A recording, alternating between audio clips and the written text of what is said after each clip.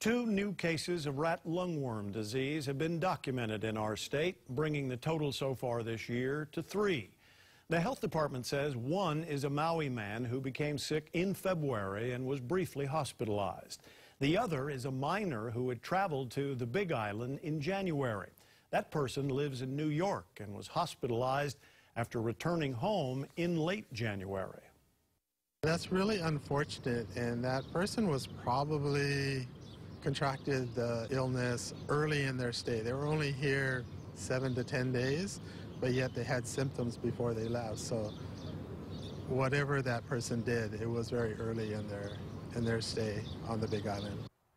The Department of Health is hoping to put videos in the airport to educate visitors. And for those of us looking to protect our family, Jen Boniza got an expert to show us how to keep slugs and snails out of the garden. Jen?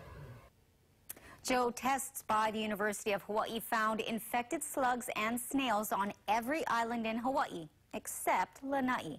I met with Josh Silva from the UH College of Tropical Agriculture and Human Resources to find out how to get rid of the slimy creatures.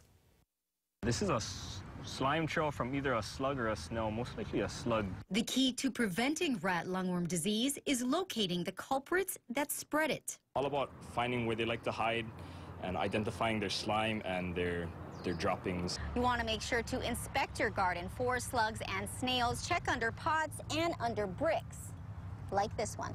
They love moisture and darkness. The best time to check for them, Silva says, early in the morning.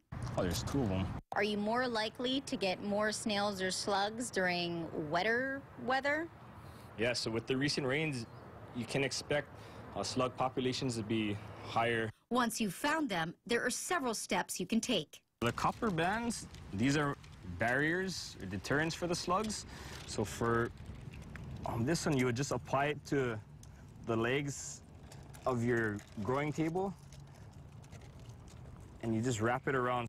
I'm told you should make the barrier four to five inches thick to prevent the snail from crossing it. The copper should be changed monthly.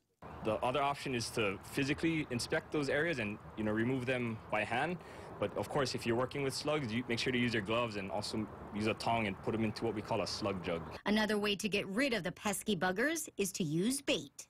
Mainly, you have um, an active ingredient called metaldehyde, which is very effective, but um, you know, slightly toxic, so not too safe to use if you have children or pets in your growing area. Inspecting your growing area is important, but Silva says you also have to remember to thoroughly scan and wash every fruit and vegetable before you eat it.